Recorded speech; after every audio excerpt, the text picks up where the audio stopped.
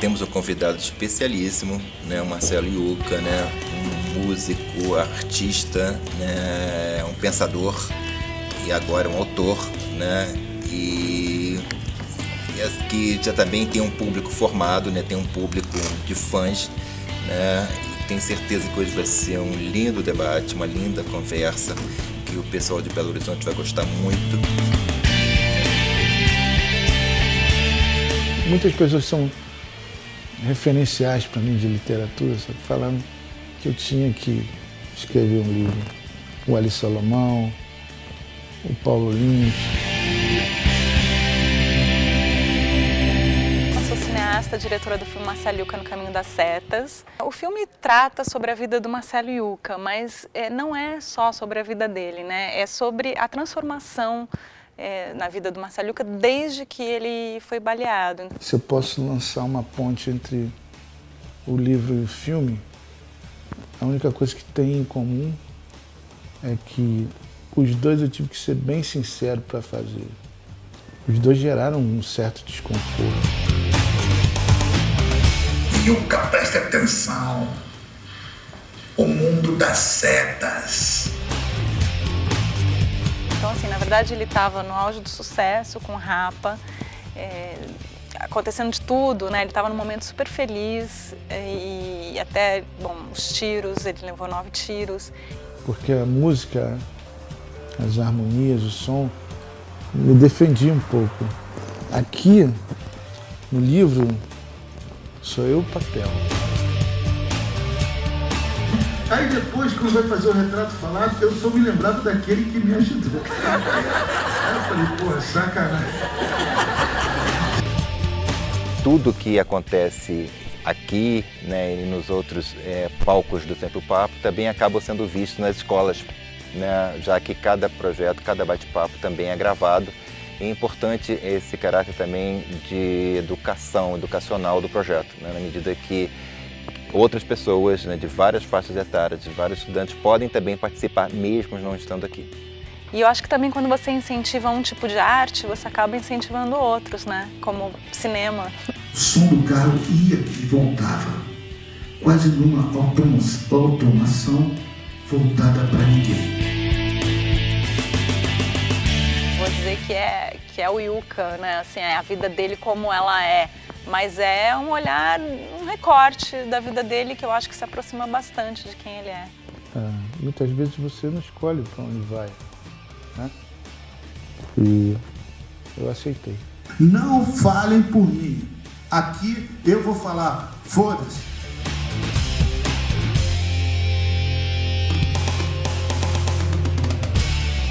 Eu não, eu não superei porra nenhuma e nem vou superar. Eu não dependo da, de andar para ser feliz, sabe? Eu ousei ser sincero. E isso dói. A vida passa, a vida, vida é vida, vida é comprometimento. Se você não serve a serviço, você não serve a porra nenhuma. Eu tive que me reinventar e, e tentar unir os cacos daquele homem que eu era. Esse livro de poesia é um grito assim: não falem por mim. Aqui eu vou falar, foda-se.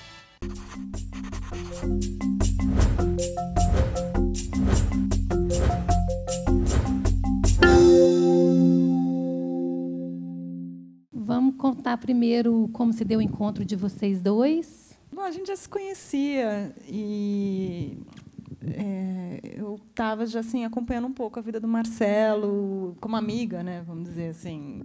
Eu namorei a amiga dela. É. Mesmo antes do acidente. Não, depois. Não, depois. depois? depois é. Mas, na verdade, a gente se conheceu de uma outra forma. E depois ele namorou uma amiga minha, coincidentemente era uma amiga minha. a gente se conheceu, na verdade, porque tinha uma pessoa da ONU que tinha visto o meu filme anterior, é, um documentário também sobre lideranças comunitárias que chamava Voz da Ponta, Favela vai ao Fórum Social é, Mundial. E ela queria um relatório, ela estava fazendo um relatório para o PNUD, e queria é, colocar uma música, um rap, um hip hop, uma coisa assim que falasse de discriminação racial. E aí ela, ela me ligou, ela morava em Brasília, falou: "Ah, eu estou indo para o Rio e eu queria achar alguém, algum músico que pudesse fazer compor uma música para esse relatório". E, e aí eu liguei para o Benegão. Aí eu falei, Benegão, eu preciso de uma música assim, assado, você faria? Ele falou, olha, eu acho que tem uma pessoa melhor para fazer isso. Todo mundo me falava do Yuka, eu não conhecia ele ainda. É, eu tinha morado um tempo fora, até quando eu voltei para o Brasil, todo mundo assistia meu filme e falava assim: você tem que conhecer o Marcelo Yuca, porque o teu filme tem tudo a ver com o que ele faz, né? Que ele, enfim, estava super envolvido com vários projetos sociais em, em, favelas lá do Rio, e o meu filme falava sobre isso.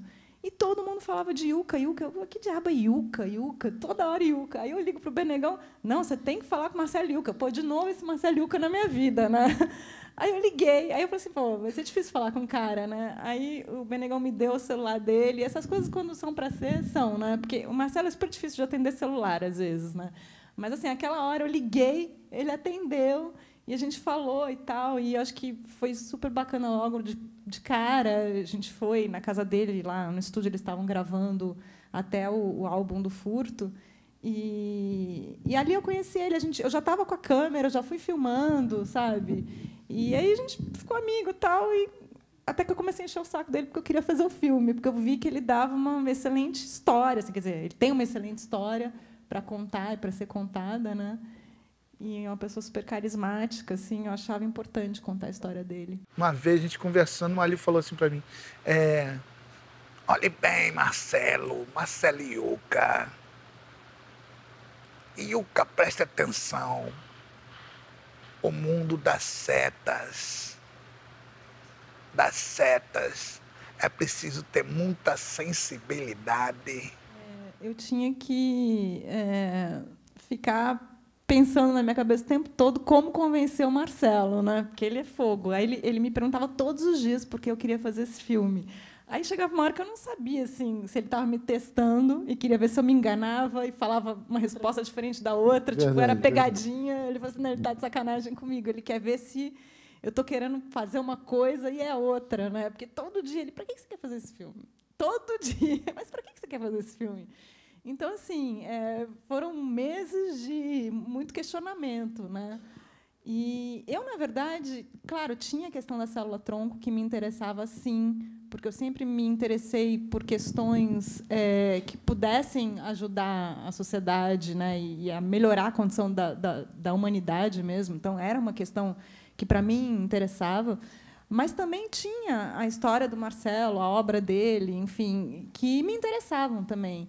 Em nenhum momento eu achei que, pelo fato da célula-tronco ter ganho né, a causa, que a gente tinha, não tinha mais uma história. Pelo contrário, eu achava que tinha muitos outros ângulos que podiam estar é, tá no filme. Né? E, era, e aí que começou a nossa não, questão. Eu, eu, acho que um, um, é, uma coisa que me levou, me levou a topar continuar a fazer o filme é que eu achei que que eh, tem uma passagem, vocês ainda não viram o filme, mas tem uma passagem que a gente vai encontrar um médico português que ele tinha uma técnica avançada nisso, até mesmo na questão medular. E, bom, e o encontro com ele, assim, ele falou: Poxa, se você tivesse 42 anos, eu tinha 43. Eu, não, é, você tinha né? 42 e precisava ter 40. eu tinha 42 e hum. precisava ter 40. Aí, tipo assim, porra, eh, eh, tinha um amigo que estava é, numa de bancar a cirurgia, o médico estava ali, estava tudo certo. E aí ele manda uma dessa, assim. E aí eu não queria deixar, se o filme terminasse ali, ia ficar meio melancólico, sabe? O que, na realidade, eu acho que nem foi. Nem foi, porque é, eu já tinha aprendido que que eu não, eu não dependo da, de andar para ser feliz, sabe? É incrível isso. Eu, até eu me espanto em poder falar isso, mas é uma, uma verdade. É, isso aqui é uma qualidade de vida bem ruim, bem baixa, que mesmo eu sendo é, um, tendo uma visibilidade, existe muito preconceito. As cidades é, também não te ajudam. Existe o preconceito, realmente, o mais baixo preconceito de uma pessoa olhar para você e falar: Ih, esse cara vai me pedir alguma coisa. Sabe, tem, um, tem, um, tem um fato até que eu gosto de falar que, que isso retrata como a cadeira carrega um peso. É, na época da, do plebiscito, se o Brasil queria ou não vender armas de fogo livremente, eu hum, fui para as ruas, para as ruas mostrar meu ponto de vista. Eu não acredito nisso. Eu não acredito em paz armada, não acredito. Não, não, é comigo isso. Então eu peguei um bolo de papel e fui na saída do metrô. Distribuí para as pessoas. Né? Então, é, de cara veio uma família de uma senhora negra super gentil assim, falou, oh, me deu um abraço gostoso, com um peitão quente. Ô oh, meu filho, só vejo você na televisão, isso aqui, você sabe o que é isso aqui? Os filhos dela nem sabiam. é, é, sabe o que é isso aqui? Aquele pô, um negócio legal, sabe? Eu dei papel, falei, eu só não gostar, joga no lixo. Né? Pô, estou cumprindo meu papel, amarradão ali. Aí quando eu viro para cá, vem uma senhora alta, assim, bonita, senhora, uma mulher, né, uns 30 anos, num taie, salto alto, e desvia de mim longe e fala assim, não tem dinheiro não. Entendeu? Então, ali é, foi um, um eu, foi uma das vezes que eu vi que eu carrego é, papéis completamente paradoxais. Mas, por outro lado, me ajuda a ver, ver de perto aquilo que eu narro. Porque ali, no filme da Nenê, ainda tem essa coisa cronológica que dá para ver que a minha batalha contra as armas de fogo não é porque, não vem do, do fato de eu ter sido vítima de PAF. Não, não é. Isso fazia parte da minha vida. Quero ver aqui quem levou mais tiro que eu. Levei nove. Aí, vamos bater palma para ele, que ele tomou 18. Eu não tenho vergonha de falar que, que durante muito tempo eu, eu não achava que eu podia ser feliz, ou, ou eu, eu tinha medo do outro dia.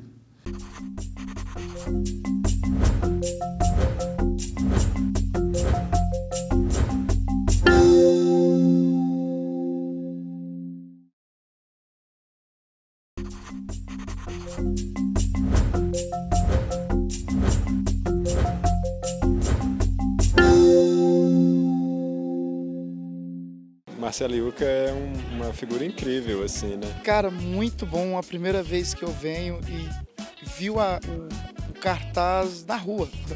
Passando assim, eu falei, caralho, Marcelo Yuca, como conhece a história um pouco, assim, tipo, vamos ver o outro lado, né? Porra, me amarrei muito. Ele é aquele cara irreverente, né? Que não tem papa na língua e que manda o recado. Eu não, eu não superei porra nenhuma e nem vou superar. Eu, sabe, eu acho que se eu tivesse em pé, eu estava com outras paradas aí, é, não digo tão difíceis quanto, mas que também é, que eu, que eu ia, outras broncas que eu ia ter que encarar, porque o destino me fez olhar e é bom ver o filme. Eu nunca vi no cinema. É bom ver o filme escondidinho assim, porque eu vejo o eu vejo que tem, por, por quanta coisa eu, eu passei para que era inevitável ser porta-voz dessas coisas, entendeu? Não é uma coisa que só não é só o que eu procurei, mas o que, o que a vida me deu. Depois do último, eu, eu tive mais dois assaltos depois desse. O último, que eu, foi engraçado porque eu tentava dizer que eu não andava, os caras não acreditavam. Entendeu? E eu batia assim no, no vidro do carro e apontava o adesivo. Olha aí, cara, eu sou cadeirante, os caras me enfiando porrada. Aí eles me puxaram para fora, mas meu pé ficou preso. E o carro é automático, o cara não conseguia dirigir. E aí os caras não conseguiram, saíram correndo, vamos embora, vamos embora, não sei dirigir esse carro. Cara, daqui a pouco um deles volta e fala, não, isso é muita sacanagem, eu vou te ajudar, eu vou te sentar. Aí reverteu o papel assim, falando, cara, sai fora que os caras vão chegar. Ele, não, não, vou. Eu falei, cara, tu não vai conseguir me botar ali, pelo menos me coloca de barriga para cima.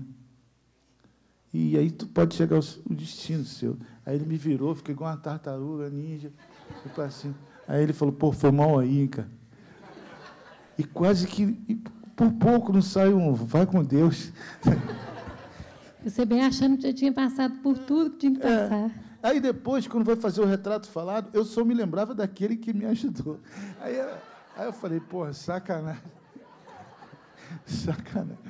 Entendeu? Aí, aí eu inventei lá um, um outro nariz, um outro. E, e sua relação com Deus, Marcelo, me emocionou muito no filme. Você falar da música do, do Benjó. Eu queria que você comentasse sobre isso, do, do É. antes e depois, né? Na verdade, eu nunca, eu nunca consegui decorar, assim, eu, tenho, eu nunca consegui decorar essas músicas da igreja, sabe? Eu fui criado na igreja católica, mas eu só sei aquele negócio de segura na mão de Deus. Essa, essa aí eu sei. Que, que não era bom de to- cantar. naquele- Tudo que eu não queria era a mão de Deus ali. Pô, o senhor pode pegar uma outra mão, deixa eu. Então, então, e eu só sabia esse trechinho. Eu falei, pô, tô fudido e agora. Aí que me veio a, a ideia da música do, do Jorge Ben, que é o Jorge da Capadócia, que eu, eu adoro, assim. E aí, quando demorou che- chegar a ambulância, quando eu entro na ambulância, eu, eu entro cantando assim, não, não, cantando na minha cabeça, né? E eu, eu tive a oportunidade de falar isso para o Jorge, que, na real, eu até hoje vou aproveitar, eu não seria músico se não existisse Jorge Ben, entendeu? Eu não, não seria músico. Eu achei foda. E aí, quando eu falei isso para ele, cara, falei que, que eu cantei na parada lá, não sei o quê, ele se emocionou e me deu um presente foda, que eu fiquei assim uma noite toda que eu escolhia qualquer música, ele cantava.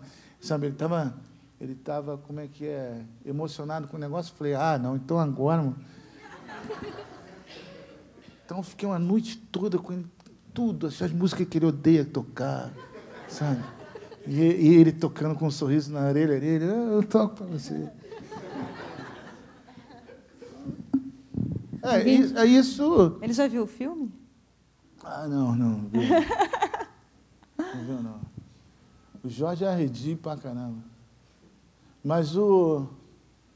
Mas é, é, o, o filme fala essa descoberta, assim, do, de alguém que tinha uma noção de espiritualidade.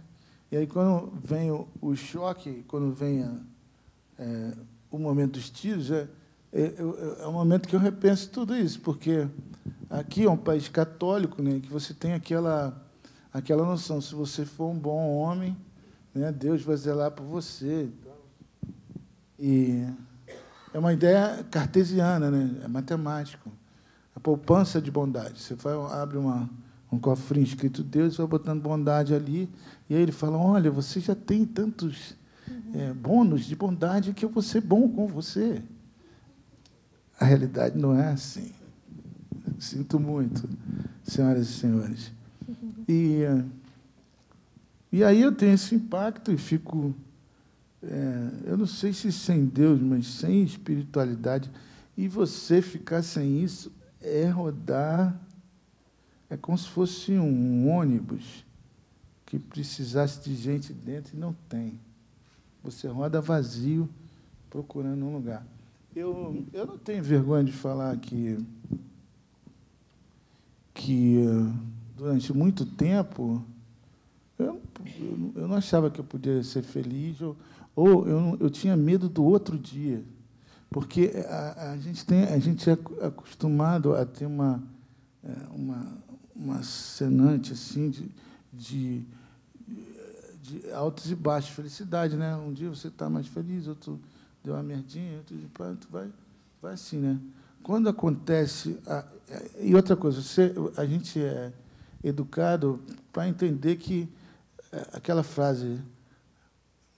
eh, só não tem jeito para a morte.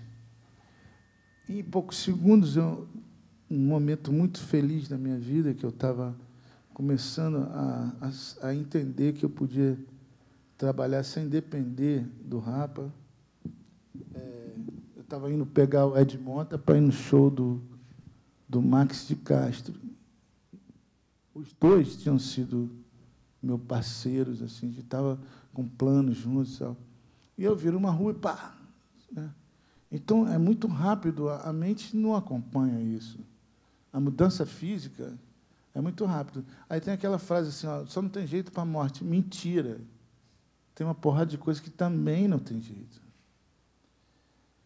E conviver com essas coisas que não tem jeito, ainda mais pendurado no seu corpo, 24 horas por dia, é pagar por, um, por um, uma penalidade, uma prisão que, que eu não fiz nada para isso.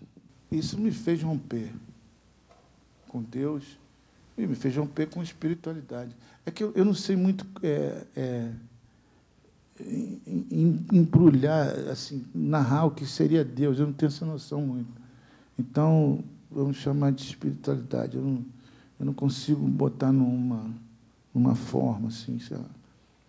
Então, aí, aí, mas eu só sei que viver sem isso não é viver sem Deus, é viver sem fé.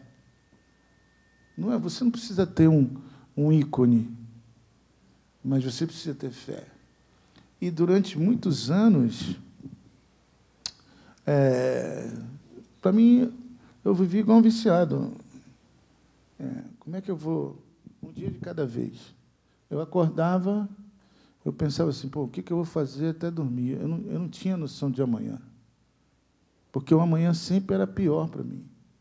O, corpo, ele vai, ele passa um tempo, um período de choque medular, que todo dia você descobre uma nova um novo impedimento. Todo dia eu descobri. Então, eu assim, porra, amanhã vai ser pior. Mas o amanhã era pior do que eu estava esperando. Então, é, tem gente que fala que eu sou forte, eu sou porra nenhuma. Choro em filme de Michael Jackson. Mas, é, quando eu olho para trás, eu não sei como eu consegui manter um mínimo de sanidade, sabe? Porque você tem que entender. Outro dia eu vi, é, essa é boa, estava querendo te falar essa, Dani. Eu vi um cara que foi do Big Brother, né, que sofreu um acidente e ficou na cadeira de roda. Eu vi no Jô Soares, eu olhei aquilo e falei assim, pô, esse cara deve ser um otário, vou ver, é, vou ver essa porra. Cara, em dez minutos eu queria matar ele. Vou te falar por quê. Porque o cara é bonito pra caralho, forte pra caralho, e é uma puta escola de vida. Assim, ele está ameaçando o meu meio como aleijado. Ele é um super aleijado. Então eu falei, cara, eu tenho que eliminá-lo. Entendeu? Esse, como esse cara deve peidar quando dorme, alguma coisa, alguma coisa que. Cara, o cara é brilhante, bicho. Tá bonito pra caralho. Eu falei, bicho, não, não pode. Sabe por que são? Eu adotei um futuro. Eu posso dizer isso. Eu optei por um futuro. Eu quis ter. É, eu sou um dos poucos homens que, que perdeu. Perdi, perdi mesmo e tem que continuar assim. Então, eu posso dizer o que é o que é legal no sexo, por exemplo, porque eu já pude não fazer. Eu posso dizer, eu trabalho pra caralho, muito, porque eu já fui impedido de trabalhar. Eu gravei o disco do Furto, é, tem um, eu tocando, tem um momento que eu não tinha condição de ficar sentado. Eu toquei deitado e e, então, é, é uma, eu optei por um futuro, não é, não é uma carreira, eu não optei por uma carreira, eu não optei por uma família. Eu optei por uma coisa muito mais profunda, eu optei por estar aqui amanhã. Isso é uma outra coisa, estar aqui daqui a 10 anos. Sabe? Eu tinha tudo para não, para não estar. Aliás, a vida me falava que não era legal estar. Então, eu acho que o filme ele, ele tem essa coisa, ele, ele consegue pegar é, a poesia uma coisa simples. quando não, você percebe que não tem, não tem armação, não tem sequer direção, sabe? Ela, ela faz o favor de abrir a, a lente e a coisa se desenrola. E isso pode ser na vida de qualquer um. Aquilo ali que eu olho no filme, às vezes eu, parece que eu estou vendo um filme de ficção. Porque isso não culpa a minha vida. Eu já não sou mais aquilo. Eu sou um cara que estou sempre olhando para frente.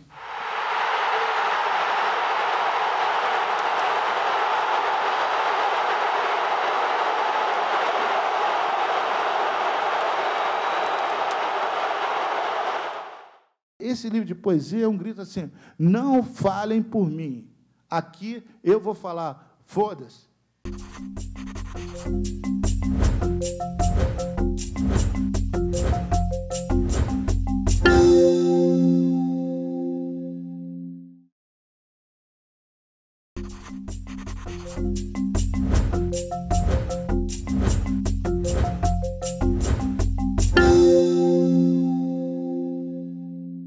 Foi muito bom, né? Eu já sou fã do Yuka há muito tempo compartilho com ele toda essa, essa ideia em relação à política, em relação à postura do, do artista.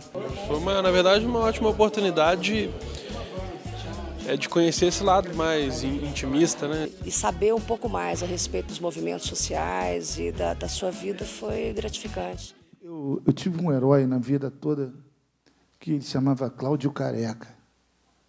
O Cláudio Careca nunca foi careca.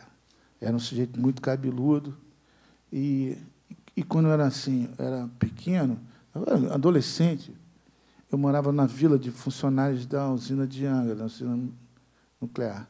E aí, o Cláudio, era um lugar pacífico, que não tinha quase nada para fazer, só tinha uma praia belíssima e mato.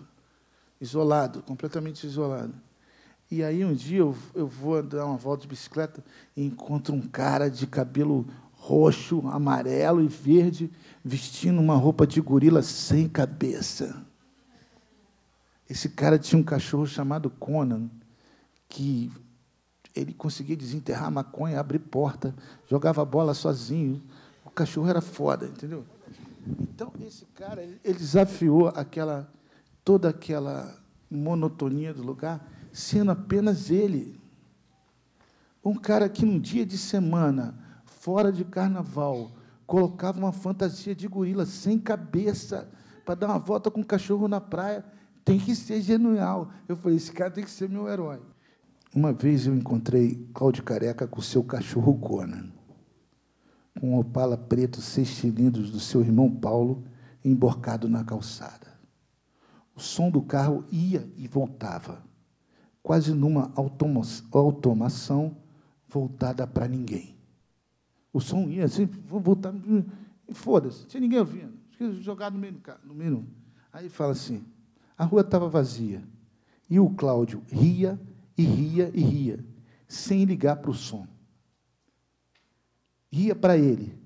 Até eu chegar, ele riu mais ainda e me abraçou como se fosse me mostrar alguma coisa no céu. Ele me abraçou e falou assim: rindo pra caralho. E eu, tipo, esse cara tá vendo o quê, né? Imagina, uma praia deserta, um carro abandonado tocando funk alto pra caralho e um cara assim, ó.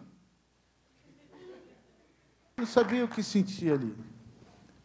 Mas eu senti, eu precisava narrar o, o quanto esse anti-herói me fez. Eu sou consequência de alguns Cláudio Carecas, porque eu, eu nunca fui um cara muito maluco. Eu fui um cara engraçado. Mas eu, eu passei, a, a, sinceramente, eu passei a fumar maconha tem uns quatro meses, por recomendação médica. Eu tenho 47 anos, cara. Eu tinha que ter aprendido isso com 15, 16. E quer saber? Eu acho uma merda. Eu não gosto de ficar doidão, mas diminui bastante a dor. Então, mas eu sempre gostei dos malucos, cara. O maluco, ele, ele é ele tanto que ele perde as amarras. Entendeu?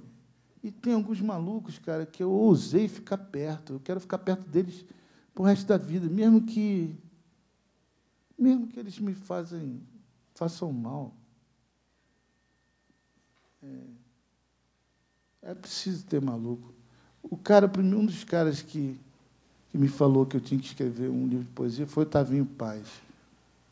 E ele, ele ficou conhecido porque, no período de ditadura, ele foi fazer um negócio de poesia em São Paulo, no Teatro Municipal, e ele mijou no palco. Ele falou assim, não, bicho, que que porra, entendeu? Já tinha, assim, tinha um maluco para já tinha feito tudo, bicho, aquele negócio performático. Ele falou, não, mas ninguém mijou. Sabe? O, o, o Jimi Hendrix tocou fogo, o, o sabe, Pitalchen quebrava a guitarra, ele mijou no palco, cara. Depois de ler uma poesia, saiu preso, ficou com tempo. Mas, sabe, é, é preciso romper as amarras admirar esse rompimento, é, cultuar esse rompimento e saber usá-los na direção certa. Quando eu comecei a escrever, eu vi que você pode mentir muito. Sabe? A, na, na, minha, na minha profissão, você pode mentir muito. Quantos estão aí fingindo que são uma coisa que não são?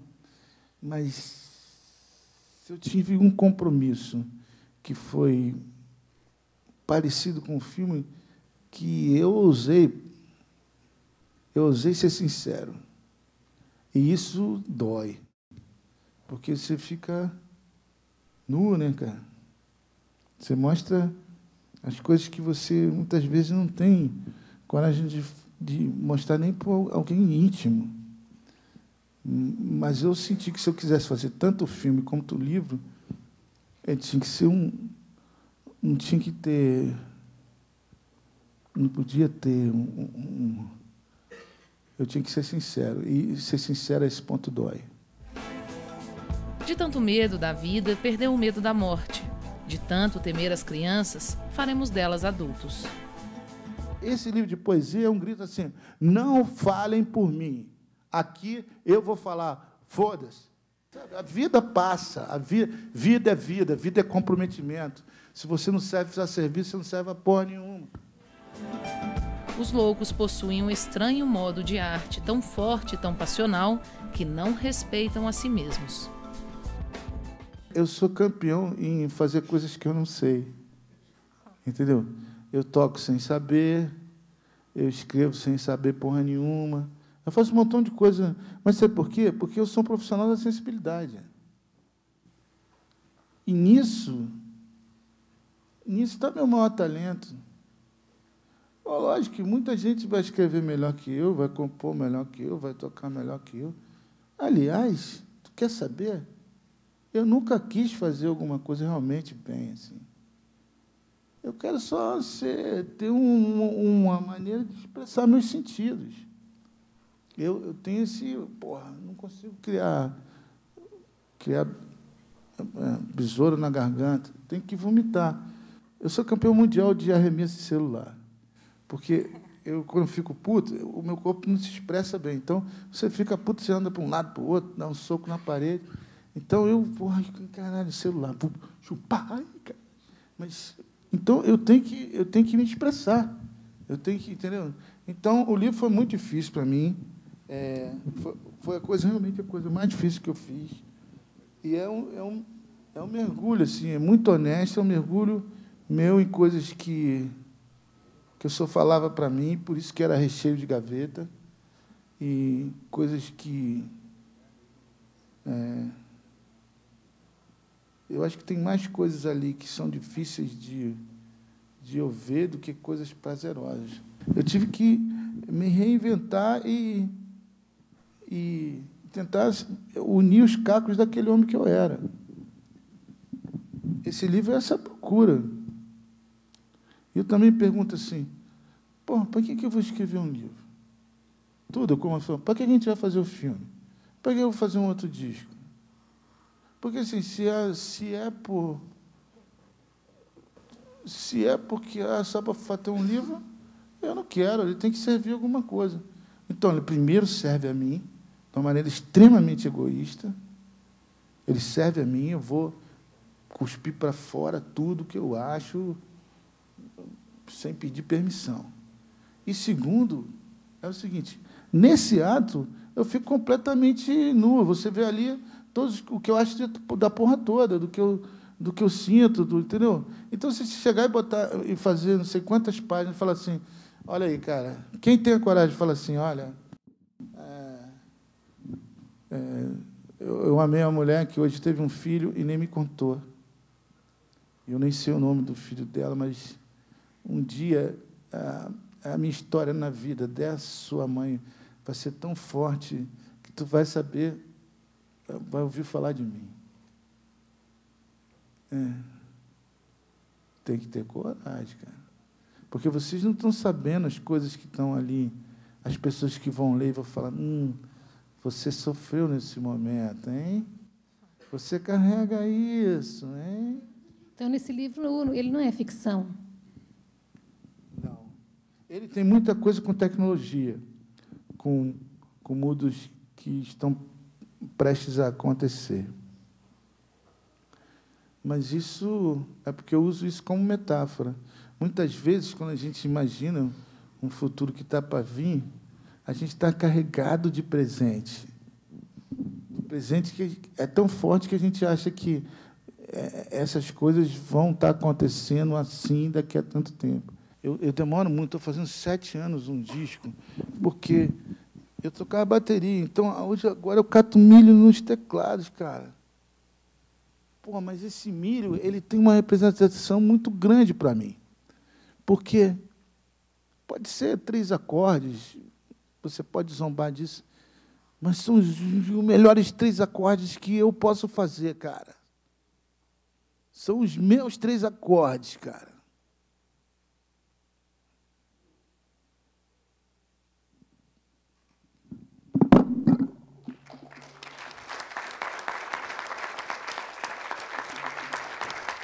Eu faço palestras há 13 anos nunca escorreu uma gota de lágrima da minha cara, hein, maluco?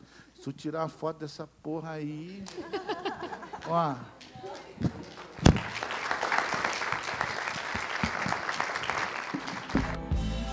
Já não quero amar, quero ser o amor.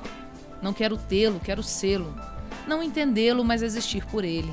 E transportar momentos frequentes em momentos singelos, como beijos com pasta de dente.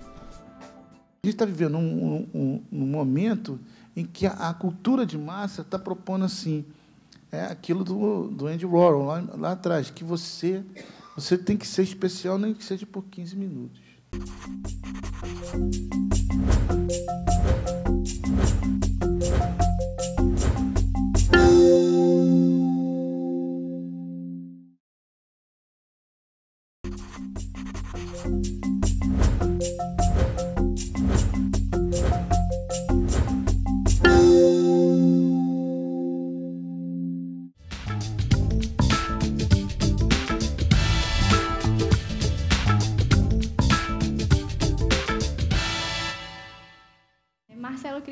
Pouco do, dos projetos que você está engajado, Furto tá. e, e Boca. O Furto foi um projeto musical que tinha uma finalidade ali.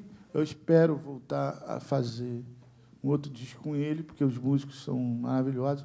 Mas é, ele tem o seguinte: naquele momento, todo mundo achava que eu tinha que criar um Rapa 2, sabe? Uma coisa para ser resistência, assim, não, agora o Rapa de, o Rapa de verdade é o Rapa do Yuca. Porra, cara, eu não estou afim de levantar nada contra ninguém.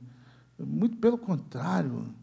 Muito pelo... Se você perguntar, eu vou achar que aquilo tudo é uma grande mentira. E te provo que é uma mentira. Mas se tem tantos fãs, é que tem tanta gente que precisa daquela mentira. Sacou?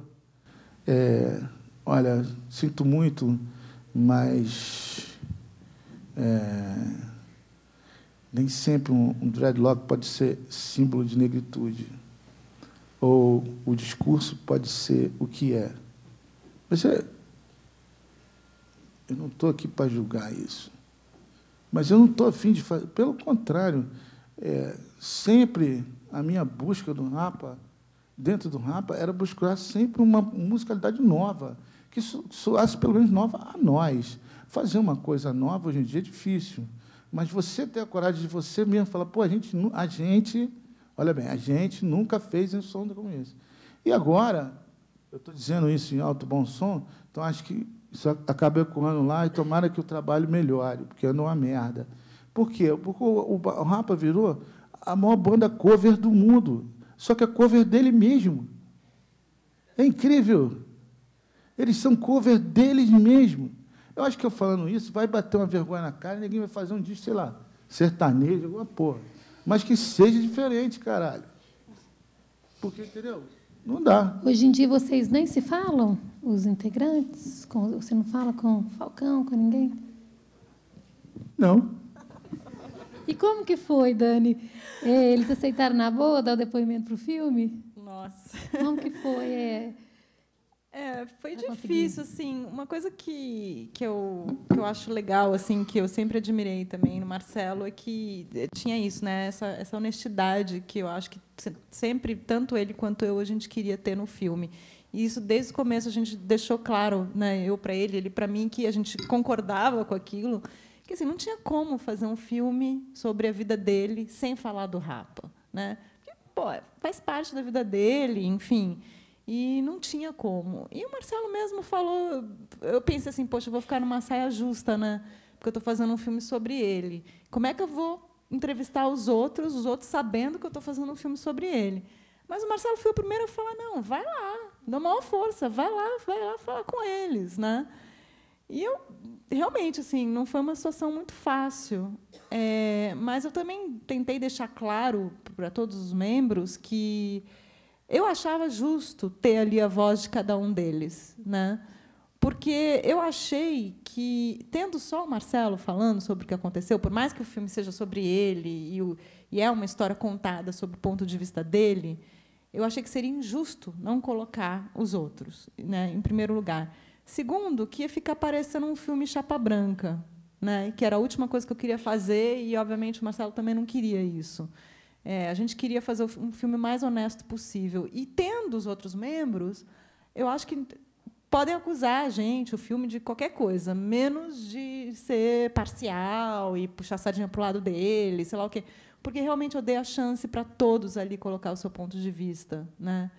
E, e eu, eu não sei assim, eu não sei o que, que eles acham, não sei se eles viram, não sei, mas eu sempre, quando me perguntam, eu falo assim, olha, notícia ruim chega rápido. Já faz um ano que o filme foi lançado, até agora ninguém falou nada. Então, assim, mal ou bem, eu acho que é aquilo. Eles realmente eles assumem aquilo que eles falam no filme, é aquilo mesmo, né? Porque ninguém reclamou que eu. Não, eu acho o seguinte, é, é brilhante isso, porque eu, eu, eu, acho que a maior defesa sobre todos os problemas que eu tive com o Rapa não partiu do que eu falei, parte do que eles falam.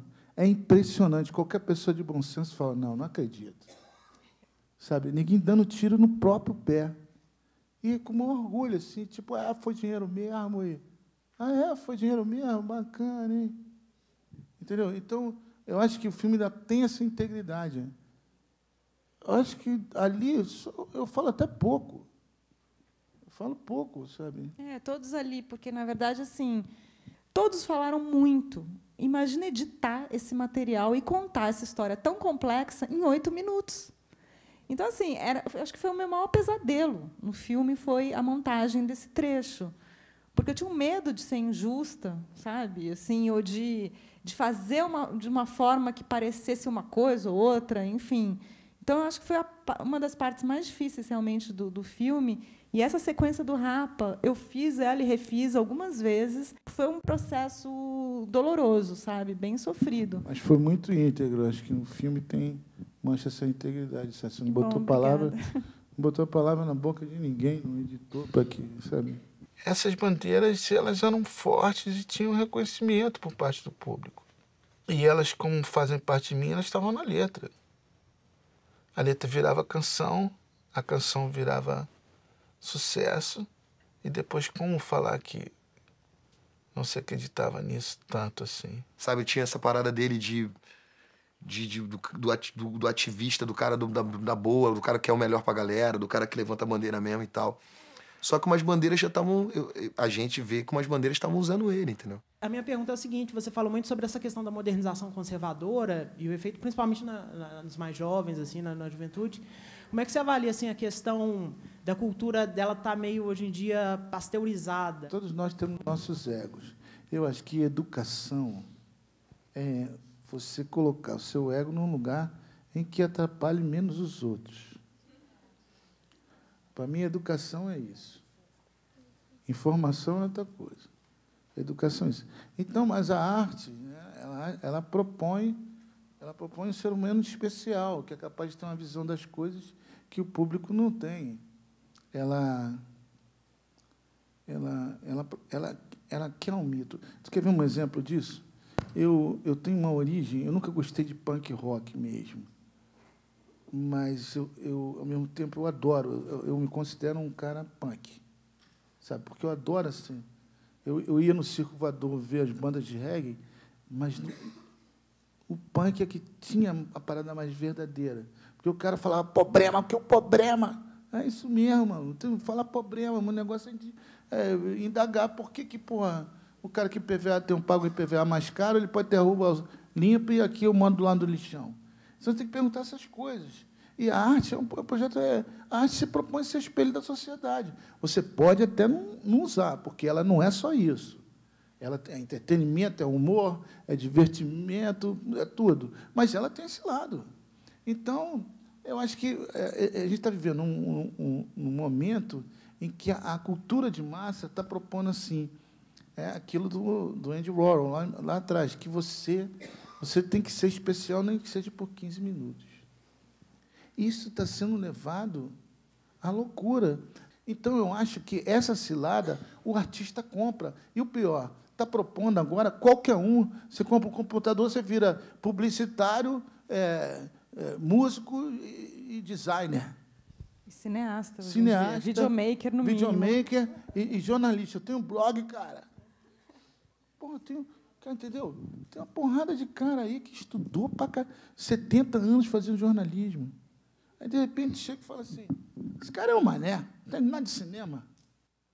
Deu Google, três diretores, acha que sacou e vai com um cara que 70 anos estudando em bibliotecas, o cinema italiano. Tu, tu já, ah, esse cara é um mané. Então, é, olha só, a gente tem até uma poesia que fala aqui, fala sobre isso. Eu não sei, eu tenho uma memória horrível, mas o, tem uma poesia que fala aqui sobre isso, assim, que, que assim, que é mais ou menos isso. É, todo pintor que se ama demais não pinta, maqueia. Porque a arte requer dúvida. Sabe? A grande autenticidade de um, drible do Garrincha é porque tu olhava para as pernas dele e falava assim: daí não pode sair um drible desse. É dali que ele conseguiu fazer de correr atrás da bola algo mágico de ser visto.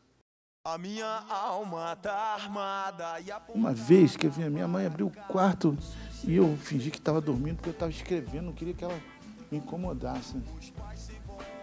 E aí eu estava cheio de cacos de jornal e pedaços de papel. E ela chegou para mim e falou assim. Ela falou para mim, ela falou assim, comentou sozinha assim, nossa, tá ficando maluco Olha, três anos depois, eu pude dar uma casa para ela com aquele papel que estava perambulando pela minha barriga, todo riscado. Um papel que hoje as pessoas chamam de a minha alma. Isso tem que ter relevância, cara.